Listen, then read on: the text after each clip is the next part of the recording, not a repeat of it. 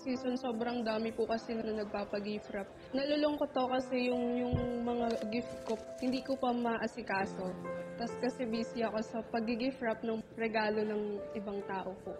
So, closing time po kasi late na late na. At instead na may bonding time yun ng parents ko tsaka ng brother ko, nawawala na. Para sa kanila din naman po yung ginagawa ko. Kaya kahit mahirap, tinitiis ko. Para makabawi po ako sa sa mga sacrifice nila nung nag-aaral ako.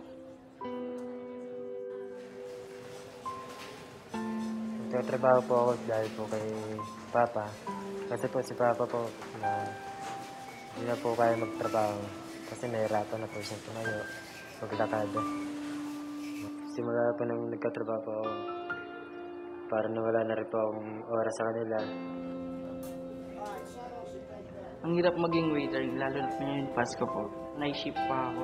Yung tipong Paskong Pasko, nagtatrabaho ako, hindi mo feeling yung pamilya mo. Yung may guess akong ano, talagang bumabalik-balik. Naisip ko na lang na ang saya nila. Eh, wala na eh. Ang hirap. Yung tipong sana ganyan din nararanasan ko ngayon.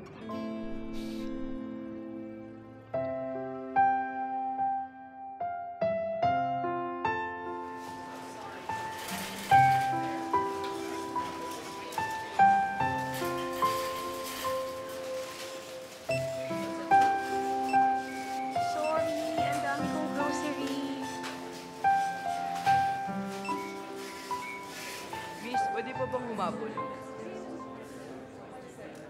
Medyo marami to ah.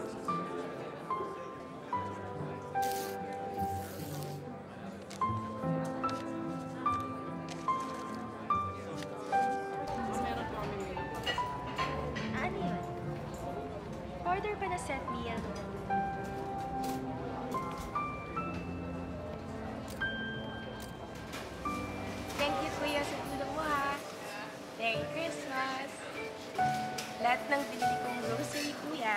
Para sa'yo yan. Sa'yo nga yan lahat! Thank you po. Merry Christmas. Lahat ng ginifrap mong regalo para sa'yo yan. sa'yo nga yan.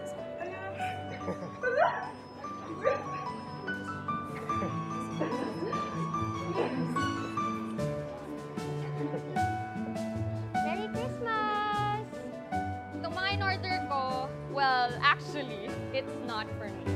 It's for you and your